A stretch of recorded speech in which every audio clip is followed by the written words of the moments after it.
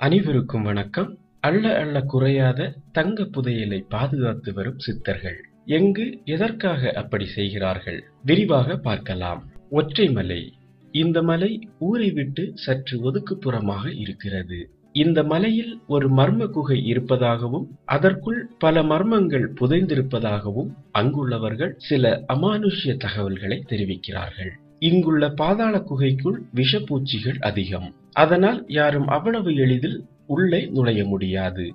இந்த குகையில் கொங்கண சித்தர் என்ற முனிவர் வாழ்ந்ததாகவும் அவர் பல சித்து விளையாட்டுகளை செய்து வந்ததோடு மருத்துவ மூலிகைகளை பயன்படுத்தி எந்த பொருளையும் தங்கமாக மாற்றும் வித்தையை கற்றவர் என்கிறார்கள் இந்த பகுதியை சேர்ந்தவர்கள். மலையை குடைந்து உருவாக்கப்பட்ட மர்மமான அந்த பாதாள குகையில் இரண்டு அறைகள் உள்ளன. முதல் அறை சற்று பெரியதாக காணப்படுகிறது. இரண்டாவது அறை சிறியது. இந்த அறையில்தான் படுத்தபடி நுழையும் அளவிற்கு மிக சிறிய துவாரம் ஒன்று காணப்படுகிறது.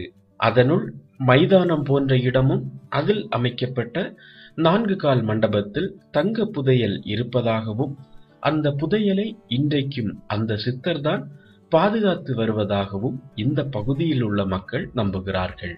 ஒரு சிலர் இன்னும் ஒருபடி மேலே போய் அந்த குகைக்குள் தங்க ஊஞ்சலில் அமர்ந்தபடி சித்தர் ஓய்வெடுத்து வருகிறார் என்கிறார்கள்.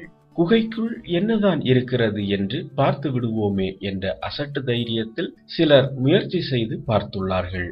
ஆனால் அவர்களால் அந்த துவாரத்தின் வழியே சிறிது தூரம் கூட செல்ல முடியவில்லை. மூச்சு திணறல் ஏற்பட்டு போன வேகத்திலேயே வெளியே வந்து விட்டார்கள். குகைக்கு வெளியே மலைப்பாறையில் மேடை போல செதுக்கப்பட்டு அதில் மூலிகைகளை அரைப்பதற்கு உரல் போல ஒரு துளை உள்ளது. அந்த இடத்தில் தியானம் செய்வதற்கு ஏற்ப சிறிய மேடை போன்ற அமைப்பும் இருக்கிறது. இவையெல்லாம் கொங்கண சித்தர் அங்கு வாழ்ந்ததை உறுதிப்படுத்தும் சான்றுகளாகவே அங்குள்ள மக்கள் பார்க்கிறார்கள். பாதாள குகைக்கு முன்பு நூறு அடி தூரத்தில் கொங்கண சித்தரின் சிலை விநாயகர் சிலை உள்ளிட்ட பல சிலைகளும் வைக்கப்பட்டுள்ளன. பௌர்ணமி மற்றும் வெள்ளி சனிக்கிழமைகளில் இங்கு பக்தர்கள் தவறாமல் வழிபாடு செய்து வருகிறார்கள். இந்த ஒற்றைமலை சேலம் மாவட்டம் இடைப்பாடி அருகே கொங்கணாபுரம் ஒன்றியத்தில் உள்ளது. அங்குள்ள தங்காயூர் வேலம்மாள் வலசு என்ற பகுதியிலிருந்து நான்கு கிலோமீட்டர் சென்றால் சூரியமலை தென்படும். இந்த மலையைத்தான் அந்த பகுதியை சேர்ந்தவர்கள் ஒற்றை மலை என்று குறிப்பிடுகிறார்கள்.